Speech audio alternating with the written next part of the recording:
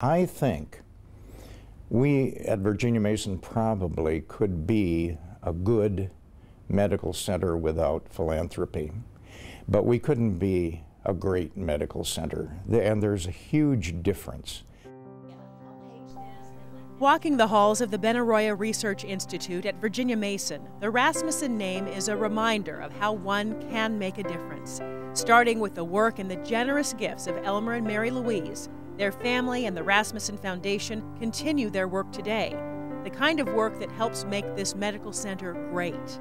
But their story, the story of Elmer and Mary Louise, starts in their home state of Alaska, where the spirit of giving back to the community began many years ago.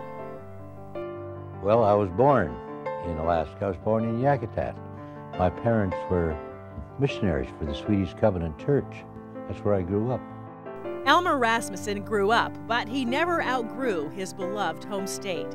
Before his death in December of 2000, he was regarded as one of the most powerful and generous men Alaska had ever known. With his mother in 1955, he helped create the Rasmuson Foundation in his father's name. Their mission to be a catalyst for promoting a better life for the people of Alaska. Mary Louise Milligan grew up on the East Coast. She was working as an assistant principal when the war came, and she had the opportunity to enlist in the Women's Army Corps. She rose quickly through the ranks and was national director of the WAC when she met Elmer, and it changed her life.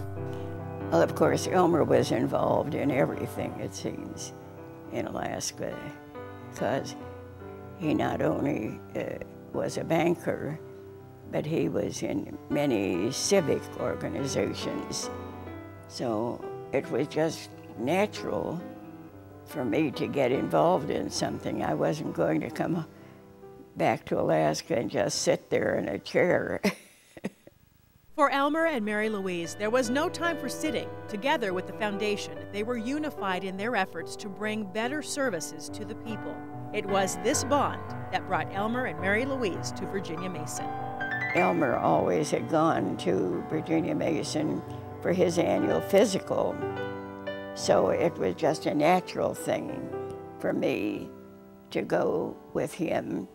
Mary Louise spent 20 years serving on the Virginia Mason Board of Governors and the Foundation Board. Her friend Jackie was right by her side.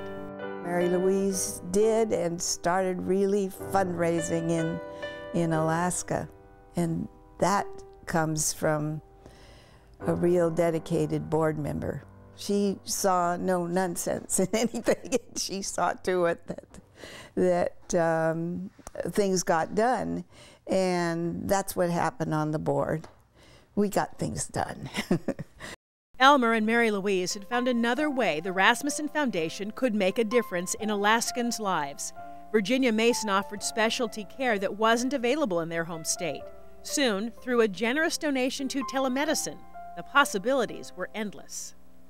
I like to think of uh, Elmer and Mary Louise as uh, being the leaders of what I call the um, Virginia Mason Alaska connection. Many of these areas where they have attempted to help the people of Alaska, they've of course indirectly helped patients uh, no matter where they're from. One area the Rasmusons took particular interest in was arthritis research the Rasmuson Center for Arthritis, Orthopedic, and Musculoskeletal Disease, the Elmer and Mary Louise Rasmuson Laboratory, and the Rasmuson Arthritis and Rheumatic Disease Rapid Research Fund have enabled several advances in the research and treatment of arthritis. All of this made possible by the spirit of philanthropy, a spirit the Rasmusons understand as well as anyone. Thinking big, I would say I'd like to see an end to one of the major diseases that we attribute to immunology. I don't think it can happen without funding. No, it can't.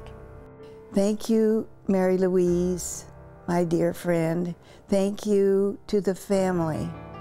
Thank you to the board of the foundation. They are very vital in all of this. Thank you for years of friendship and wonderful support.